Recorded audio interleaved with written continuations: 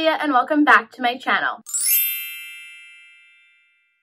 So today I'm very excited to talk to you guys about the latest Harry Potter game that has just dropped for Android and iOS a day early. It was actually supposed to drop today, but it dropped yesterday, so I got a little bit of time to play with it before I talk about it. And that is called Wizards Unite. I know that some of us Harry Potter fans have been waiting for this ever since Pokemon Go was released. So today I'm going to share my thoughts on Harry Potter Wizards Unite. Before we get started, if you haven't already, make sure you subscribe down to my channel below. And yeah, let's dig in. I am a huge fan of Pokemon Go. I played it for quite some time when it was first released. Um, you know, how huge the Pokemon Go craze was. Then they started adding some things and doing updates. But I got very busy and I wasn't able to play. And then I slowly just stopped playing just because it was totally consuming my entire life. But besides that point, I am a huge fan of Pokemon Go. I absolutely love it. I love the concepts. I mean, I always wanted to be a Pokemon trainer, so it was absolutely perfect for me. So I always had loved the idea that they were throwing around ever since Pokemon Go was a huge success to do a sort of Harry Potter-like version can't just, it's not like with Pokemon Go where literally the whole premise is to catch Pokemon because that's what you do. They couldn't really do that with Harry Potter because in Harry Potter you don't just go around catching magical creatures unless you're Newt. So they had to kind of come up with an entire reason as to why you're doing this augmented reality, let's catch these things or do these specific things, which they did. Um, so let's just start talking about it. I've been playing it, I'm on level 6. I've been playing for, I would say, I mean, I played most of the day yesterday and a little bit this morning. The basic layout is pretty much the same as Pokemon Go. You do get to set up your character. What is cool is you get to create a profile that is actually adjustable. So unlike when you choose Team Valor, which if you didn't, like, hello, um, then you were stuck with it and you couldn't change it or you couldn't, like, jump ship and not that you would want to. But this is changeable. For example, even you get to choose your house and you can change it at a later date and time. I am a Gryffindor, as always, in case anybody was wondering, Gryffindor Pride. You are able to adjust that if at a later date you decide, you know what, I really want to be a Hufflepuff. You get to choose your wand, and it's actually very in-depth. It took me about 20 minutes to customize my wand, which I thought it would just be like, oh, here's a wand. You get to choose a bunch of other little things. You get to choose your job. I believe when you get to level five or six, you get to choose what job position you are. I am an Auror.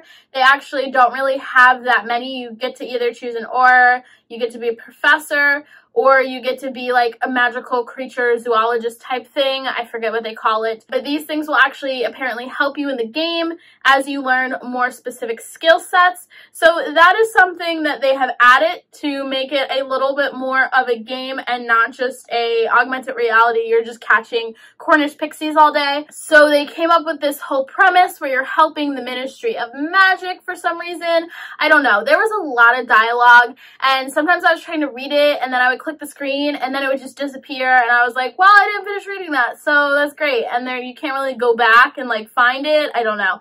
There's a lot of dialogue happening a lot of times during the game. Even at level 6, they're still trying to talk to me and tell me all this stuff. And not even just stuff that's to the game, just like stuff that you should know, like beginner stuff. And I'm like, bro, you should told me this already. I don't want you to explain this to me again. You're apparently trying to do these things, you're trying to find these things called foundables, which are scattered throughout the world just like Pokemon are. Um, you use magic spells, much like you do Pokeballs, to try to catch or to try to battle or help out other magical creatures or people.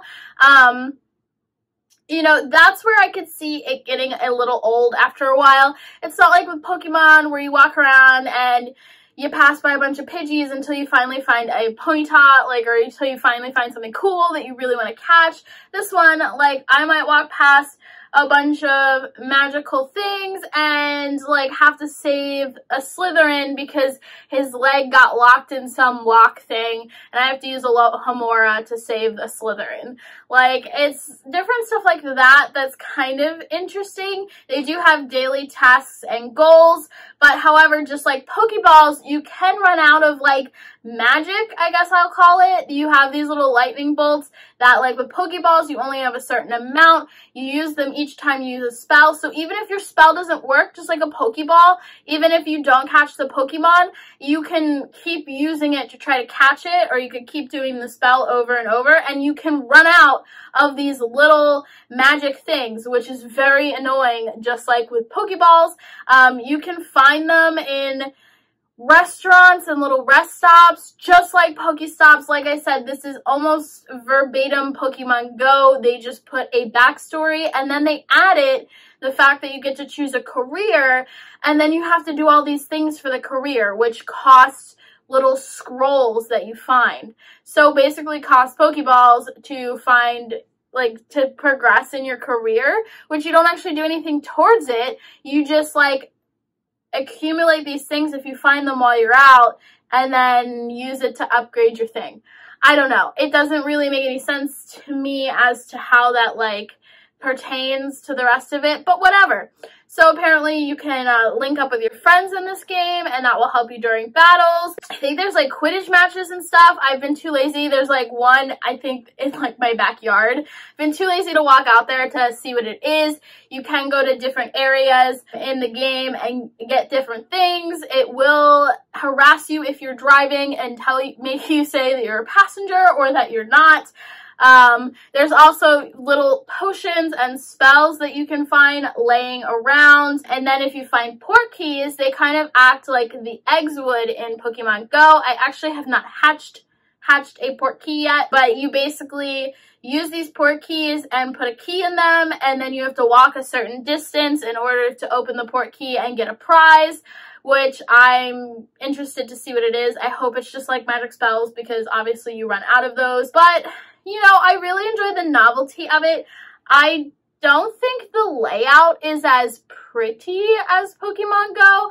Like the map that I'm on is just kind of like bland. I don't know if they'll update it at a certain point. Um, but I think that's a little bland. I do like that my little character flies when I'm driving. Be safe. Don't drive and play this game. Um, but I overall, I think that I'm, I'm a little confused about it because I don't know that, like, your whole task is to do a specific thing for the ministry. So I'm wondering if you finish that and then that's it. There's just no more to the game, like, or there's no point in it, you know? And I guess you could say the same with Pokemon Go. After you catch all the Pokemon, there's no point in the game, but you can still take over the gyms and stuff like that. I don't know. But they always add more Pokemon. Um, so I don't know if that's the case with this game. I do think that it's pretty much verbatim Pokemon Go, except it's Harry Potter. They did add a few elements here and there to try to give it more weight and more sustainability other than just catching things and like freeing people. Um, so that's pretty interesting. Let me know in the comments down below if you guys are playing this already or considering playing it. Um, let me know what you guys think. Make sure you subscribe if you haven't already, and I will see you guys next time. Bye, guys.